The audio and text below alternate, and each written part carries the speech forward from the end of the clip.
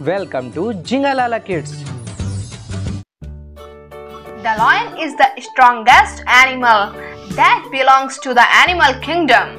Lions are considered as the king of the jungle because they are durable and have a high hunting capacity.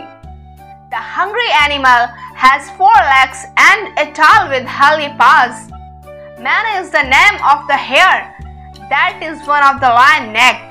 Lions are carnivorous animals, which is when animals hunt and eat the flesh of other animals.